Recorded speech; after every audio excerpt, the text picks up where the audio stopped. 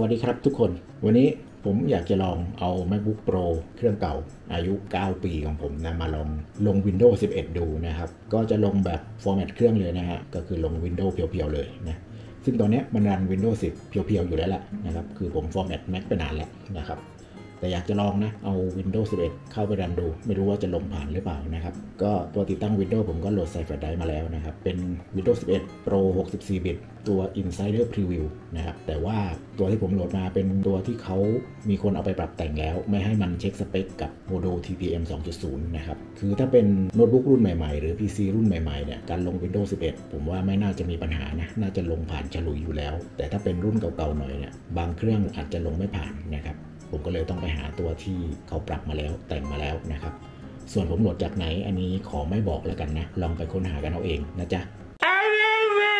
เอาละมาเริ่มลงกันเลยดีกว่านะครับ เสียบแฟลชไดรฟ์เข้าไปก่อน แล้วก็สั่งให้เครื่องบูตผ่านแฟลชไดรฟ์นะครับ บน Mac เนี่ยผมว่าน่าจะเหมือนกันหมดแหละ กดปุ่ม Option ค้างไว้และกดปุ่ม Power นะครับ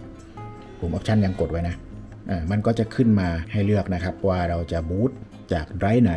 ไดร์อันแรกก็จะเป็นฮาร์ดดิสในเครื่องนะครับ อีกอันก็จะเป็นแฟลชไดร์ที่เราเสียบเข้าไป ก็เลือกบูตผ่านแฟลชไดร์นะครับ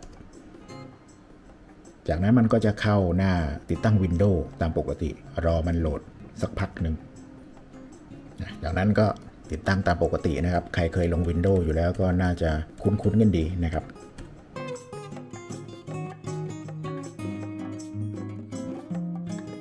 หน้า Product Key กดข้ามไปก่อนนะครับ ต้องบอกนะครับผมแค่ทดลองลงดูนะครับผมผมไม่ได้ใช้งานจริงจังนะ เดี๋ยวถ้าจะใช้งานจริงจังยังไง รอตัวเต็มออกวางขายก่อนนะครับ ซื้อของแท้มาใช้นะครับ อันเนี้ยคือลองเพราะอยากจะรู้ว่ามันรันได้ไหมนะครับ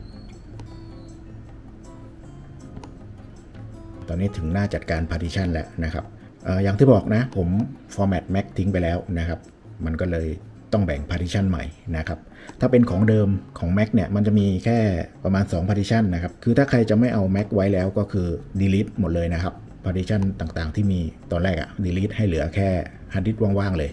นะ เสร็จแล้วก็แบ่ง partition ใหม่นะครับ อันนี้ผมแบ่งไว้เรียบร้อยแล้วนะครับ เพราะว่ามันรัน Windows 10 อยู่ก่อนแล้วนะครับ ผมก็จะไม่ไม่ไม่ลบแล้วนะครับ ผมจะ format แค่ไดรฟ์ที่ผมจะลง Windows นะครับผม เลือกไดรฟ์ที่จะลงเสร็จก็กด next นะครับ มาถึงหน้านี้แล้วเนี่ยผมค่อนข้างมั่นใจแล้วนะว่ามันลงได้นะครับ เดี๋ยวรอดูตอนเสร็จแล้วกันขั้นตอนนี้น่าจะใช้เวลาสักพักหนึ่งนะครับ เพราะว่าฮาร์ดดิสก์รุ่นนี้มันเป็นฮาร์ดดิสก์จานหมุนอยู่ ไม่ใช่ SSD นะครับ A few moments later. อะตอนนี้ก็เหลือขั้นตอนสุดท้ายในการติดตั้งนะครับ ใกล้จะเสร็จแล้ว คือมาถึงหน้านี้แล้วก็มั่นใจแล้วครับว่าลงผ่านแน่นอนนะที่เหลือก็อยู่ที่ว่าสเปคเครื่องเรามันจะรันไหวหรือเปล่านะครับ อย่างของผมเนี่ยเป็น MacBook Pro รุ่นปี 2012 นะ CPU เป็น Intel Core i5 2 Core 4 Thread นะครับส่วนแรมเนี่ยผมอัปเกรดเป็น 8 กิกแล้ว มันก็พอที่จะถูถ่ายไปได้อยู่นะ ตอนที่ลง Windows 10 มันก็ใช้งานได้ก็โอเคอยู่นะครับ อีกอย่างคือเครื่องนี้ผมไม่ได้ใช้งานหนักแล้วนะ ก็เอาไว้แค่ดูหนังฟังเพลงดู YouTube นะคือเมื่อก่อนผมก็ใช้เครื่องนี้ตัดต่ออยู่เหมือนกันนะครับ ตอนที่ยังเป็น Mac OS นะครับ แต่ว่าตอนนี้มันมันไม่ไหวละนะ มันเก่าเกิน คือจะว่าไปเครื่องนี้คลิปในช่องผมกว่า 90%นะครับมาจากเครื่องนี้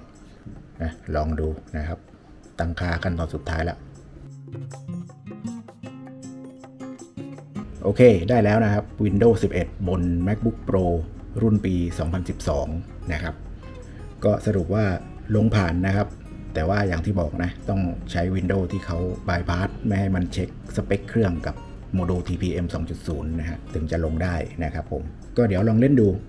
นะว่าชอบหรือไม่ชอบยังไงนะครับ หน้าตาก็ยังคงเคล้าโครงเดิมกับ Windows 10 นั่นแหละนะมีไอคอนบางที่เปลี่ยนไปนะก็สวยขึ้นนะครับ สวยขึ้นก็ลองเล่นดูสักนิดนึง ถ้าชอบยังไงเดี๋ยวประมาณช่วงปลายปีนี้ตัวเต็มน่าจะออกวางขายนะครับ ซื้อของแท้มาใช้ดีกว่านะครับ ถ้าใครจะใช้งานจริงจังเนาะโหลดมาแบบเนี้ยเอามาแค่ลองลงลองเล่นดูได้นะครับ แต่ถ้าจะใช้จริงจังก็ซื้อของแท้ดีที่สุด โอเค ผมสรุปเท่านี้เลยแล้วกันนะครับผมแล้วเจอกันคลิปหน้าครับผมบ๊ายบาย